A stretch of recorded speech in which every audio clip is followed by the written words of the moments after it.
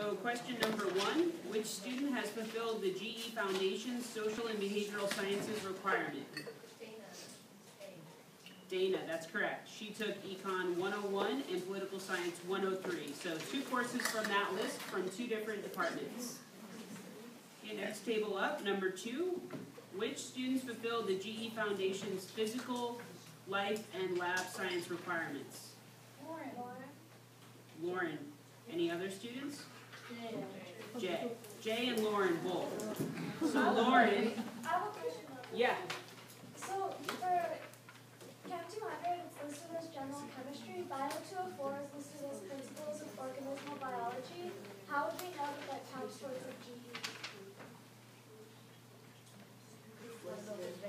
yeah, it's one of the advanced. Can somebody else answer that question? It's, yeah. It's one of like, uh, it says in the catalog that if it's a science degree or any of that sort, you have to go to that specific major to see if it qualifies for a GE. And if you go to the chemistry page, it says that they need to take Chem two hundred and Bio two oh four for a GE and, um, preparations for the major. Excellent, I saw a hand up over here. Yeah, I was just wondering, um, does Oce- does Oceanography one hundred include a lab? It does. Okay. Yeah, and the easiest way to see that is by going to Ocean one hundred in the catalog, and you'll notice that it's four units. Okay, thanks. Yeah, if it's four or more units, that means it's packaged together. Did we have another question in the back? Thank you. Any other questions, or are we good? Oh, that was my question, I was wondering why there wasn't a lab there, quite covered. Oh, yeah, so, yeah, if you go to it in the catalog and you'll see that it's four units, if it's four units or more, that means the lab is packaged with it. Yep. Okay, next table up, number three, which student has fulfilled, what, oh, okay. Which student has fulfilled the GE Foundation's humanities requirement? Chris, Chris. okay, because he took one course from four of the five areas. How come Amber didn't clear it? Yeah, she took two courses from the same area, so that's not gonna count. Okay, next table up, number four, who has filled their GE explorations? Victor, nursing major, because of what he took. Now, there's a little bit of a trick question in there. Does anyone, well, I know one person knows, does anyone know why Jillian did not complete her requirements? Oh, we couldn't find geological sciences there. It's because it doesn't exist. Yeah. It used to exist, by the way, and last year when I was upgrading uh, the, or updating the answer key and the quizzes, or the activities, I actually decided to keep it in there. Because how can it clear a requirement if the course doesn't exist? Um, okay, and Jackie, any, any guesses on to why Jackie did not fulfill her, her GE explorations? She's a history major, so she cannot take an upper division history class for explorations. Perfect. Okay, next table up, number five. Tom is a management major and took the following four courses to fulfill GE oral communication, composition, intermediate composition, and math. Did he fulfill all four GE areas? So he's got Com 103 with a grade of C, RWS 100 with a B Stat 119 received a grade of credit, and Africana Studies 200 with a grade of A. Did he complete his golden four? No, where am I? One, two, three, four. This one? This one? Okay, sorry. No. The answer is no, okay. And why? Yeah, exactly. Stats one nineteen cannot be taken for credit, no credit. Okay. Any table that wants to answer. Number six, Andrew is a psychology major. Can he take Africana Studies for GE Humanities, Philosophy and Religious Studies, considering that he took the following courses for other areas of GE? Africana Studies 120 for GE Comp, Africana Studies 200 for GE Intermediate Comp, Africana Studies 270 for GE Foundation Social and Behavioral, and Africana Studies 260 for GE Foundations Humanities Literature. No. Which maximum rule is he violating? Right, but which one? There's three, right? There's 12, 10, and 7. The 12, you got it. Yep. Okay, number seven, Christine is a sociology major. Can she take women's studies, three twenty-five, for GE exploration, social and behavioral science, considering she took the following courses from other areas of GE? Women's studies for GE Foundations Humanities, and women, or one oh two, sorry, women's studies one oh two, and women's studies three eighty-two for GE explorations, natural sciences. No, what is she violating? The max of seven units, okay.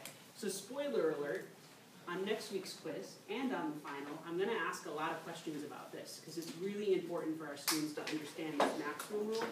And when I give you a scenario, I'm specifically asking you which policy is being violated. So don't just tell me maximum units in GE, I wanna know that you know whether it's 12, 10, or seven. Okay? Perfect. Alright, um, so number eight. Which of the following transfer students only need to complete GE explorations, their upper division at SDSU?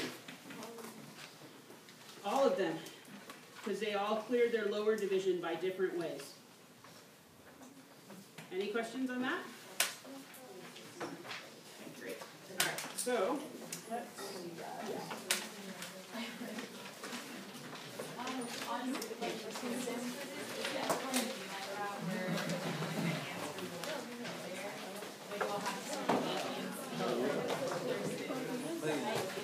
Yeah, that's, hey, guys, I want you to pay attention to, that was a great question. So the question is on quizzes and the final, will it ever be like that where you might have to circle everything that applies versus you having there always be an all of the above? And the answer is yes. Okay, so if I say which of the following, if there's more than one, then circle the correct answers. Does that answer your question? Yeah. Alright, perfect. Okay, so I'm gonna talk, before I talk about next week, I wanna talk about the quizzes a little bit more. So first of all, how retakes are going to work. If you need to take a retake, it'll be, um, if you get below an eighty percent on the quiz, you have to take the retake. I will be, um, today is a little bit of an exception, but going forward, I will be giving those names to Frankie along with the retake by Thursday. Frankie, help me out, what time did we agree on? Uh, you're gonna be giving them to me Thursday morning? Thursday morning. Yes. Okay, so the following Thursday, we didn't set, uh, okay, perfect, sometime in the morning. He will be reaching out to each of you, letting you know that you have to come in and take a retake. You will have, um, Thursday, Friday, Monday. The retakes must be taken and turned back into Frankie Tuesday by Noon? noon. Um, if you fail to take that retake by Tuesday at noon, um, then unfortunately, you're gonna be stuck with that first score.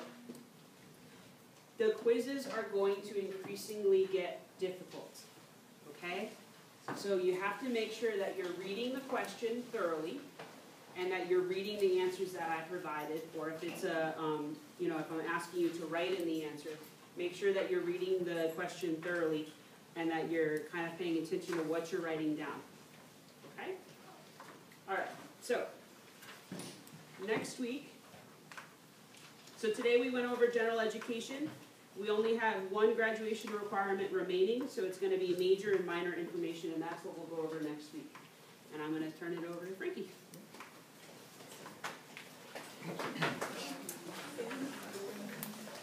Let's give um, Heather a round of applause.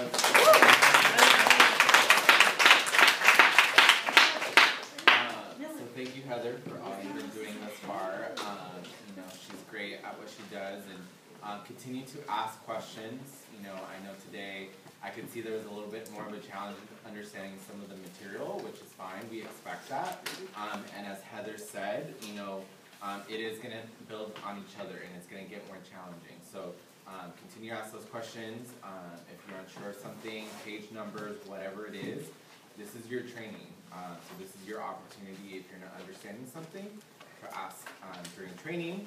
Um, and if you're still unclear, you know, uh, let us know and we'll, we'll give you extra support. Uh, the uh, TIs are also here to support you all. Uh, Eunice and I will help you as well as best as we can. Um, or we'll direct you back to Heather if you don't know the answer. um, so let's see, what else did I want to talk about? Um, so small group presentation, practice assessments are coming up. Um, it seems I've been getting some feedback from the TIs that we haven't been as diligent in reviewing, not all of you, but um, some of you, the uh, script. And I want to reiterate the expectations. Um, so for your small group presentation practice, so you should be treating it like an assessment. When you meet with one of the TIs, and I believe we start uh, the second week of March, um, you are essentially gonna be doing a small group presentation. So we don't want to waste your time, we don't want you to waste their time, cause they will stop it if you are not prepared for that small group presentation. Um, so this is your opportunity to essentially give your presentation and for them to give you feedback. So that when you have your uh, actual assessment, the second week we come back from spring break, you're ready to go.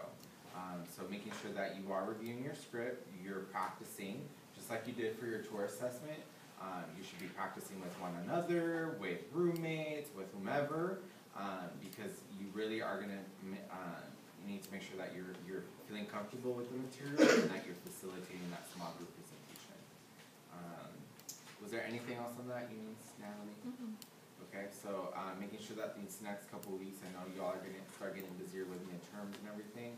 Uh, but we gave you that script the second week of the semester, so no excuses to not have gone over it, okay?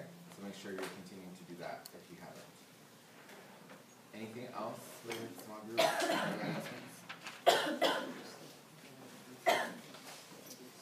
Yes, so for those of you, um, who came in to training today, um, is it okay?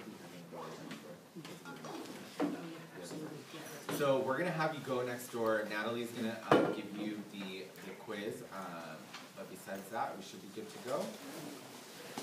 Yes.